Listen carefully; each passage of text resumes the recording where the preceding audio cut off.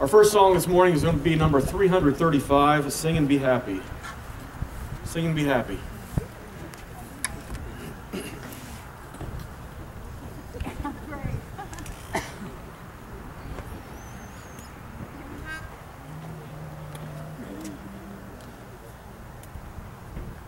If the skies above you are gray, you are feeling so blue. If your cares and burdens seem great all the whole day through, there's a silver lining that shines in the heavenly land. Look by faith and see it, my friend. Trust in his promises grand. Sing and be happy, press on to the goal. Trust him who leads you, he will keep your soul at all. Be faithful, look to him and pray. Lift your voice and praise him in song. Sing and be happy today. Oft we fail to see the rainbow up in heaven's fair sky. When it seems the fortunes of earth frown and pass us by. There are things we know that are worth more than silver and gold. If we hope and trust Him each day, we shall have pleasure untold. Sing and be happy, press on to the goal. Trust Him who leads you, He will keep your soul at all. Be faithful, look to him and pray. Lift your voice and praise him in song. Sing and be happy today. Now, Steve will have some announcements for us.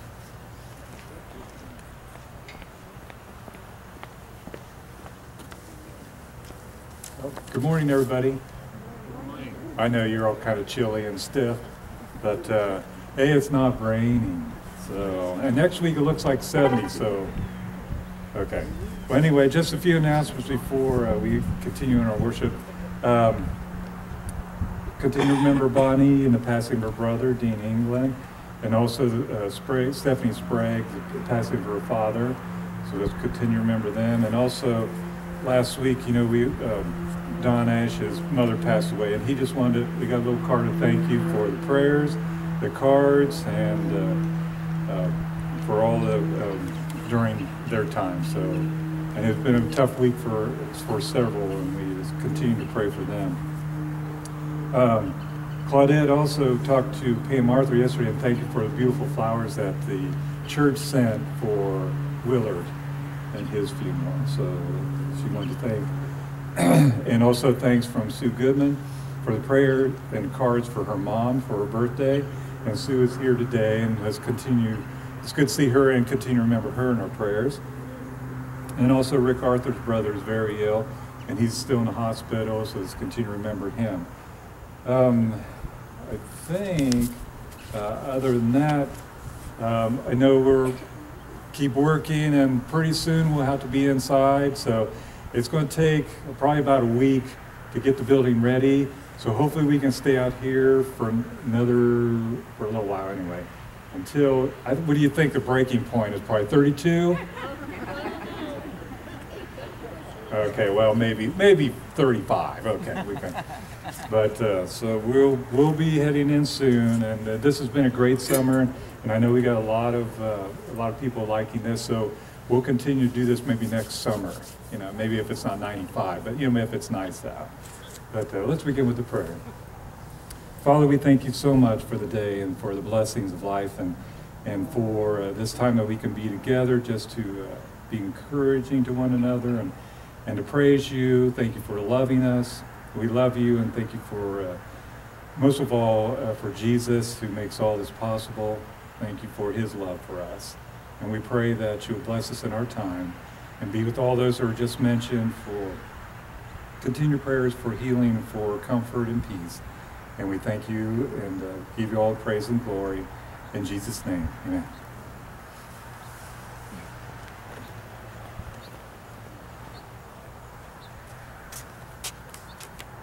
Our next song will be, number 369 More About Jesus.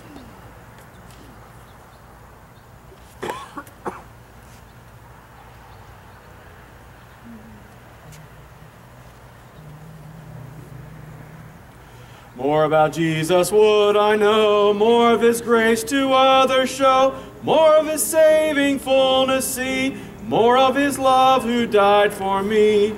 More, more about Jesus more, more about Jesus, more of his saving fullness see, more of his love who died for me. More about Jesus on his throne, riches and glory all his own. More of his kingdom sure increase, more of his coming Prince of Peace. More, more about Jesus, more, more about Jesus, more of his saving fullness see, more of his love who died for me. Our song before communion will be number 432. Number 432, Jesus, keep me near the cross.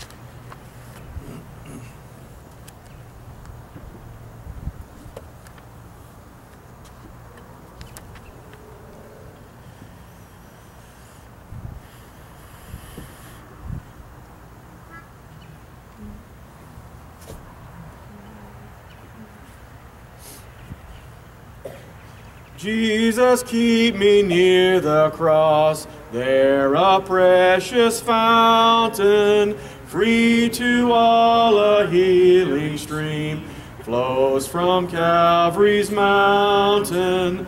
In the cross, in the cross, be my glory ever, till my raptured soul shall find Rest beyond the river, near the cross, a trembling soul.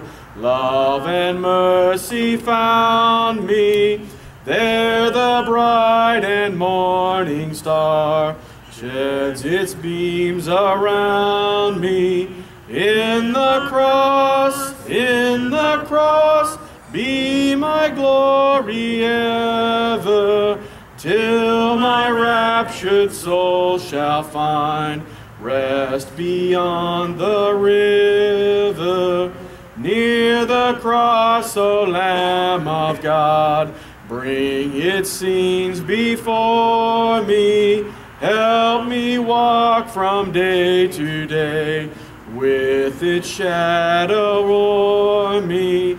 In the cross, in the cross, be my glory ever, till my raptured soul shall find rest beyond the river.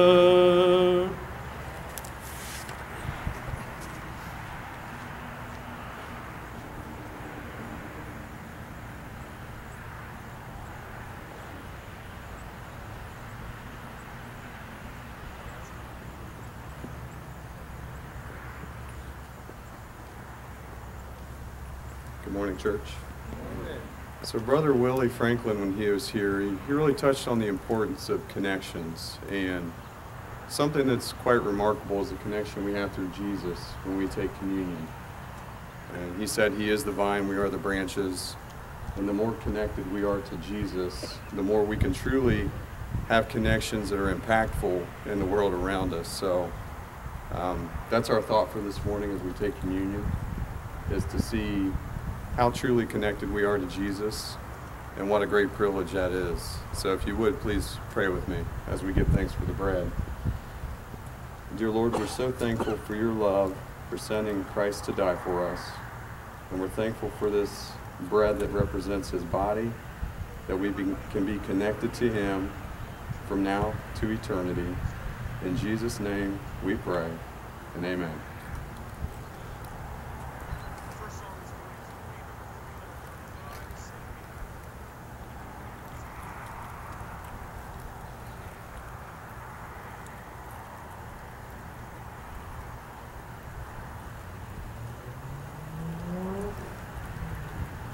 At this moment, let's also think of the blood uh, which connects us to Jesus and the, uh, the power that we truly have through his sacrifice.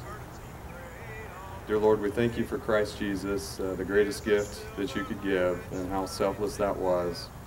We just pray that we can be more selfless every day and that we can find ways to give our time and our attention to others and to help them to see you through us. And it's in Christ Jesus' name we pray and give thanks for this fruit of the vine. Amen.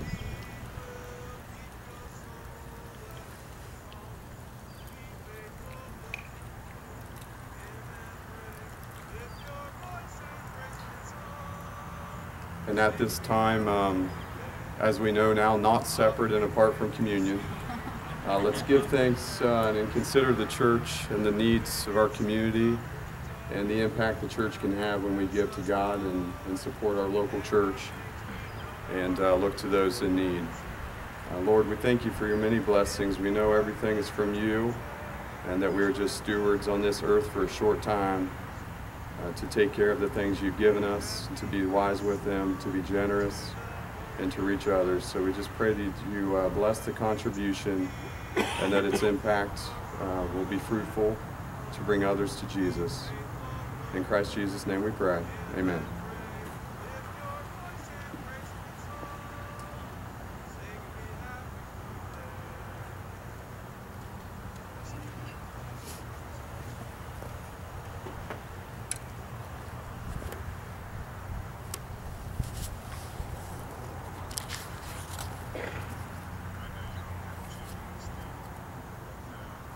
After the sermon, the song was going to be number 578, Trust and Obey. Trust and Obey. And before the prayer and the sermon, we're going to sing number 496, This World is Not My Home.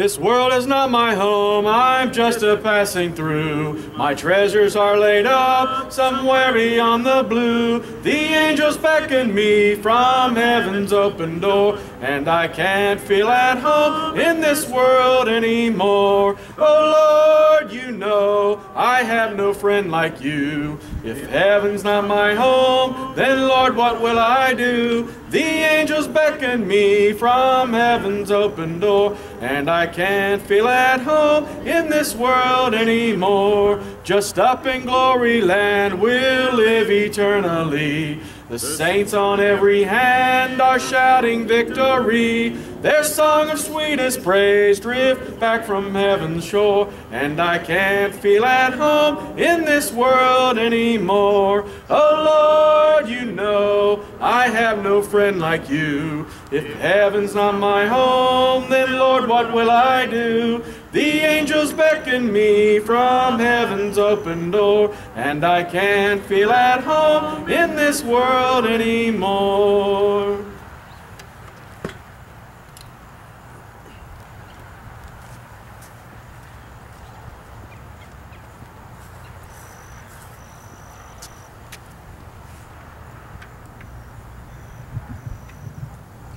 Please bow your head and go to God in prayer with me. Dear Father, we're so thankful that we're able to gather here today as part of a family, brothers and sisters, all of us. Father, as we're gathered here, we also want to glorify you. We want to sing praises to you and make sure that you know that this is your day. Father, as we're gathered together, we also want to ask that you be with us, that you support those who are in need, those who were mentioned earlier by Steve, those who are going through difficult times. Be with them and strengthen them. Have your hand upon them and use us as your tools and instruments. Father, we, we also want to pray that during these troubled times for all of us, that you're with us that you help us to remember that you are you are our rock. Father, as you've told us, faith is the assurance of things hoped for, the conviction of things not seen. Help us to remember that, Father. Help us to increase in faith at this time. Help us to remember our hope that is you and your Son. Father, as we're gathered here together on this day, your day. Help us to look at one another, to not only see those who we can encourage, but also to see brothers and sisters, the family that you've created through your Son. Help us to remember that we're here to build one another up, to support one another, that through your Son's commands and his actions, we act as he did. We can support one another. Father, as we go forward today, we pray that Mark, as he presents this lesson from your word, that you help us to open our hearts, open our minds, to listen intently, to learn and grow in all ways that we can spiritually. Help us to really focus on you, Father. This is your day. The glory that we are giving should be brought to you. Help us to remember that all things that you have created on this earth, that you have created them. That everything we see around us is from you, whether it be the geese on the hill, or whether it be the trees, the grass, but everything is from you. And help us to remember that as we go through our day today and through the rest of the week. Father, we just thank you for the love that you've shown us, the love that is beyond comprehension for us, the love that was shown through your Son, the love that has been shown through your plans since the beginning of time. Father, we love you. We thank you for the love that you've shown us. Grant us strength and wisdom as we move into the rest of the day. Be with us, Father. Thank you for your great plan of salvation. We pray all this in Jesus' name. Amen.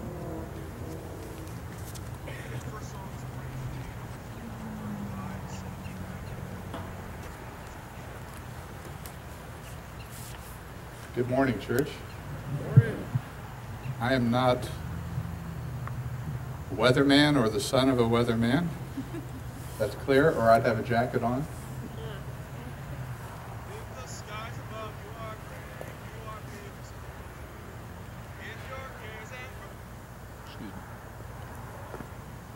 But, uh, you know, who would ever thought we would experience all the seasons out here? Uh, I guess we haven't experienced snow yet. Maybe we'll be inside before that. But it's been an interesting year. It is 2020. I want to introduce you to someone today. My cousin is with us this morning. Her name is Chris Osborne. I almost said Anderson, but she is married. Osborne. Uh, she has taken a job up in Columbus, and, uh, and they're moving here from the deep south, from Georgia, eventually.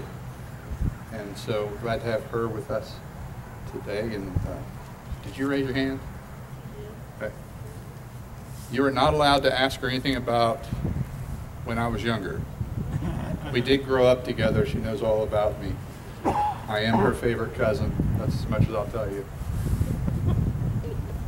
But it is good to have her here and to have all of you here. One time there was a lame duck president who met with his successor in the Oval Office.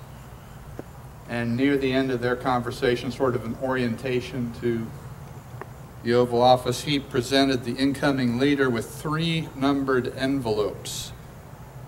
And he gave him specific instructions to open them in order when, whenever great difficulties arose. So several months later, after the president had sort of had his honeymoon period with the, with the press and the media and the public, uh, the nation experienced an economic downturn.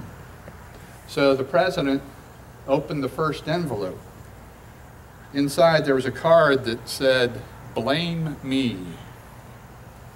And so he did. He criticized the former administration for the, for the economic hard times. Some, some more time passed, and, and after that, uh, there was some social unrest in the country, and uh, uh, domestic crisis arose as a result. And, and so the president opened the second envelope. Inside, there was a card that said, Blame my party.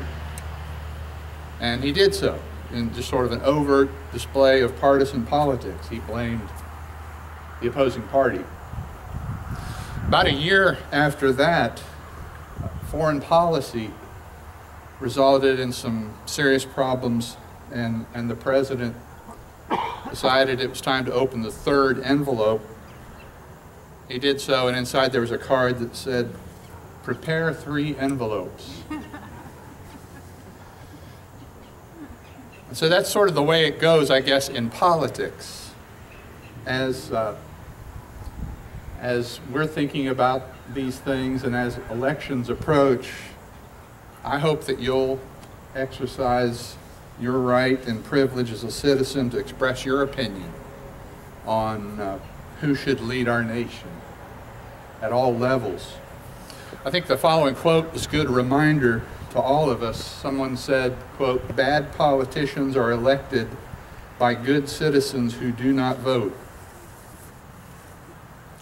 Want us to turn to Romans chapter 13 and look at it from a bit of a different angle today. Instead of addressing us directly, I want to address elected officials with the sermon that I would preach to them if I had the opportunity uh, after they were elected. So, this is the sermon that I would preach to whoever gets elected. But I think you'll see as, as we look at it that it applies to all of us. I think these are things we all need to be in agreement with, these, these principles in our lives, not just governors and presidents and congressmen and senators. But again, if I had the opportunity, if I had a, a, a sermon that I would preach to those who get elected, it would go like this. Congratulations on your election. I am praying for you as you begin to exercise the powers of your office. But I want you to know why I'm praying for you and what I'm praying for you. I do not want you to think that my saying I am praying for you is some token Christian slogan because it means something. And the meaning comes from God as it's revealed in His holy book. I'd like to share a passage of Scripture with you that speaks first of all to Christians and discusses their responsibilities as citizens under government. But it also states some basic principles that I think you, as an elected official, need to know or need to be reminded of. This ancient text from Paul has something to say to you.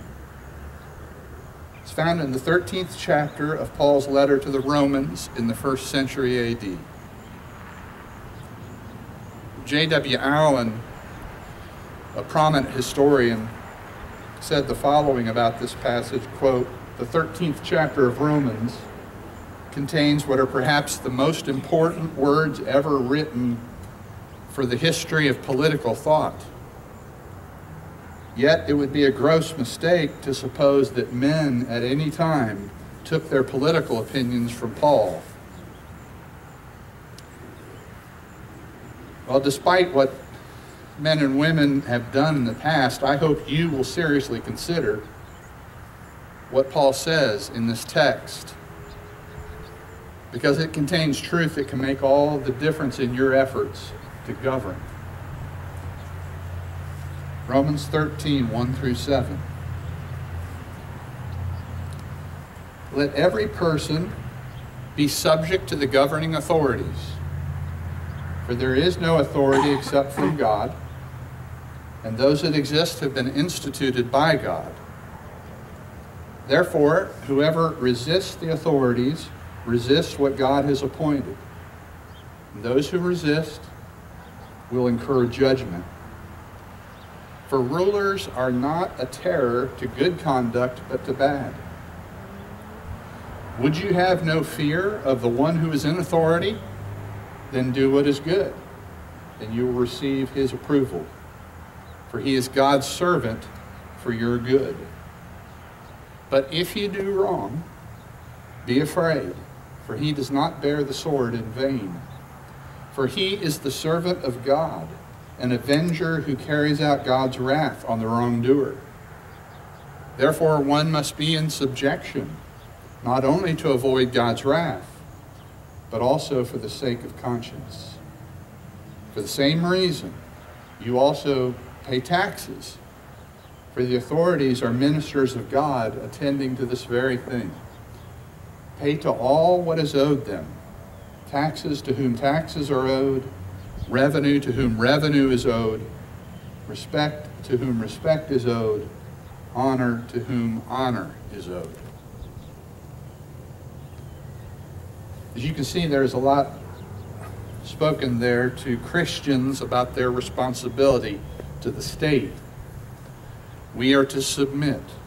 We are to behave ourselves. We are to obey laws and pay taxes and show respect. And we are obviously to pray for those who are in power, people just like you. But this passage from Paul also speaks to you.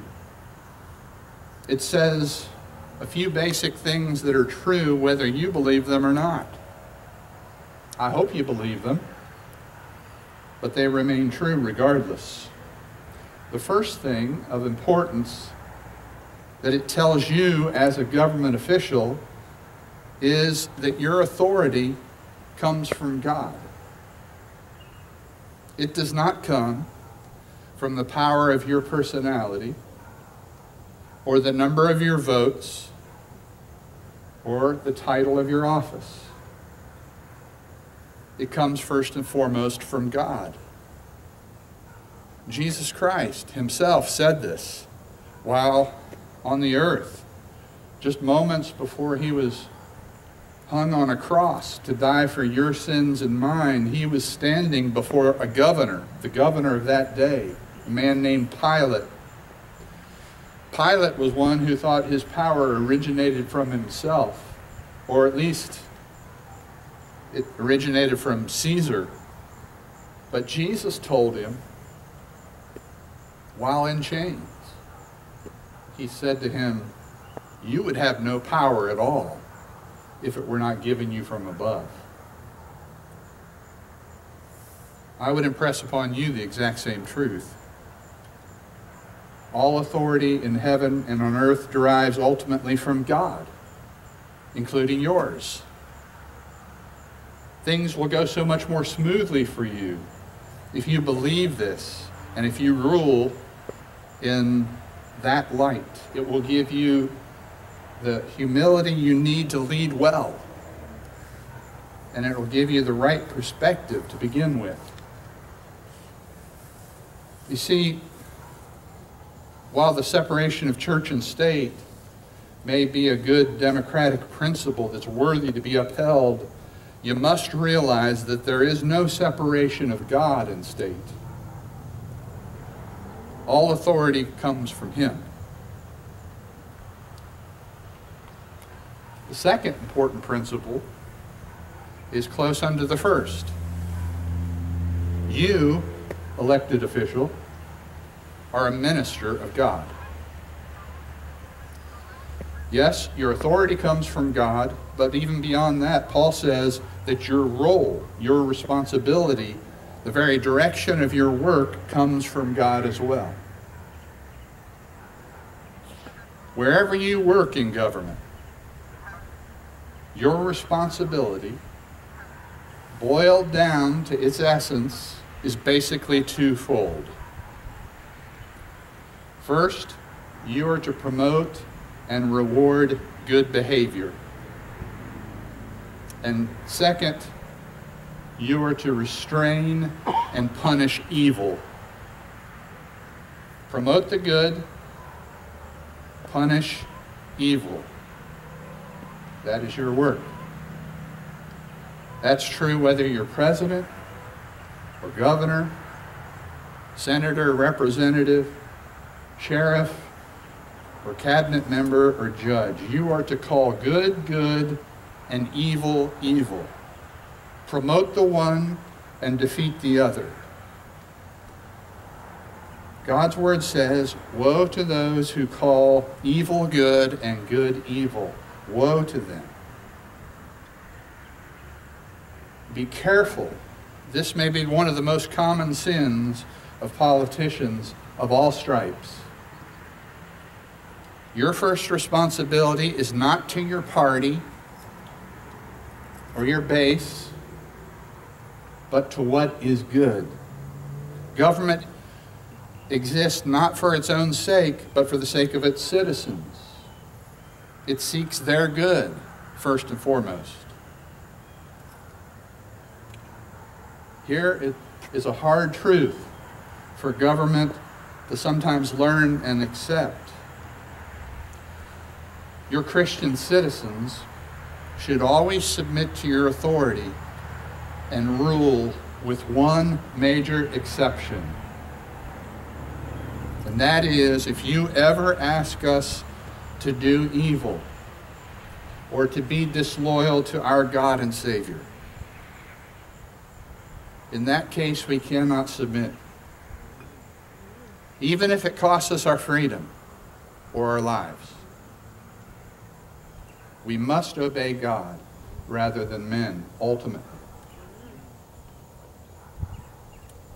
You see, there, there are certain things as Christians that we are not allowed by our God to do. For instance, if you go back one chapter in this book of Romans to chapter 12, it says that Christians are forbidden to take vengeance on others says this in Romans 12, verse 17.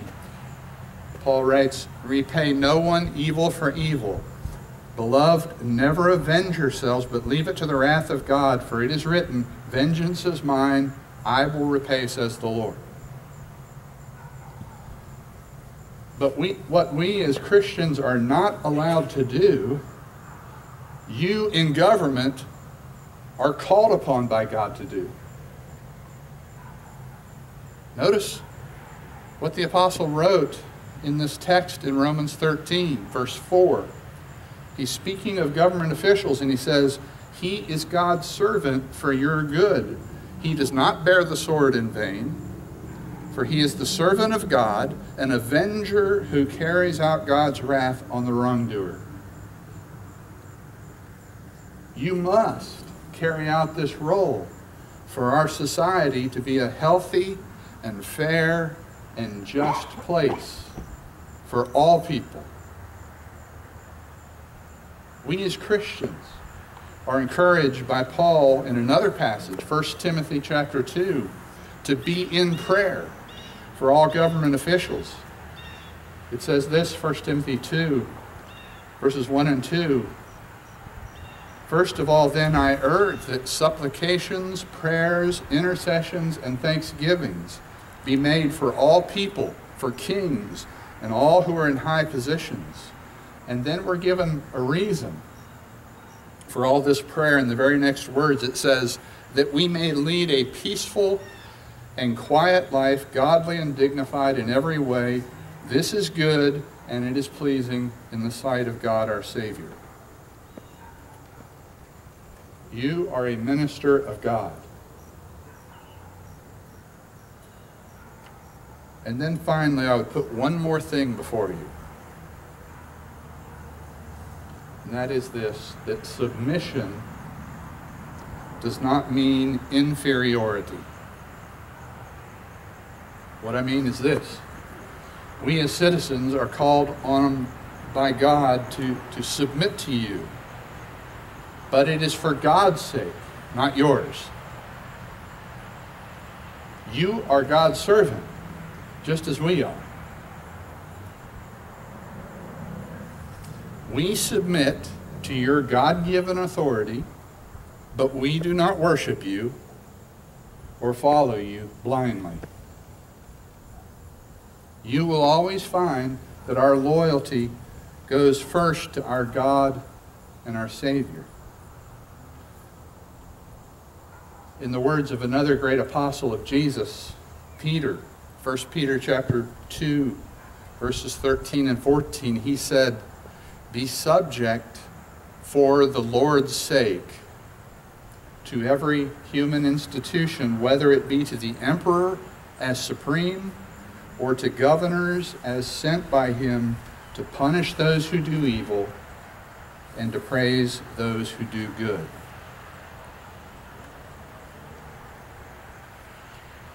As an elected official, you've come to a position of authority. You have made a great achievement. But you are still a human being just like us. We have different roles in life, but we're under the same God. One people under God. That is more than just a slogan to us. And we hope it's more than just a slogan to you.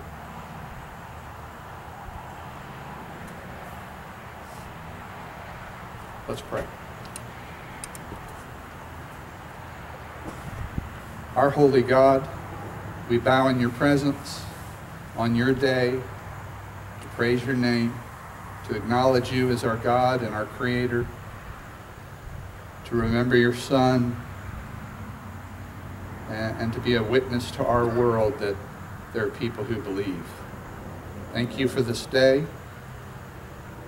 May it uh, give us opportunities to serve you and to love our neighbor. And we want to obey your word where it says to pray for those in power in our world. We ask your blessings on all of them, whether they're people that we support personally or not, that you will give them wisdom and health, and that we will be good citizens. Thank you for the privilege of living where we live in the time that we live. Give us strength to get through difficult times and to come out the other side and to learn how you want us to serve. Thank you for Jesus who died for us. Thank you for his blood shed for us and the salvation it offers us and the great hope we have because of it. And we pray today in his name, Jesus. Amen.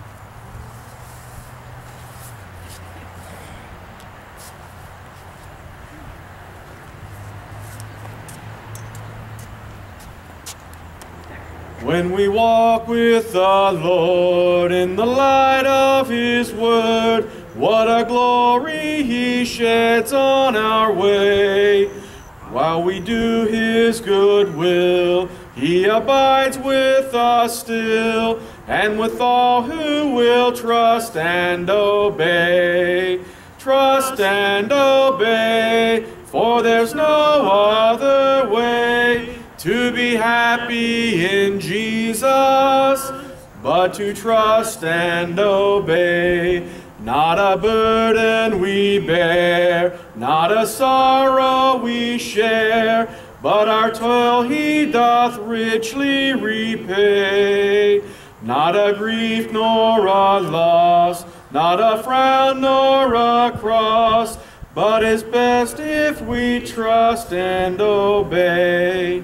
Trust and obey, for there's no other way to be happy in Jesus, but to trust and obey. Then in fellowship sweet, we will sit at his feet, or we'll walk by his side in the way. What he says we will do where he sends we will go. Never fear, only trust and obey. Trust and obey, for there's no other way to be happy in Jesus, but to trust and obey.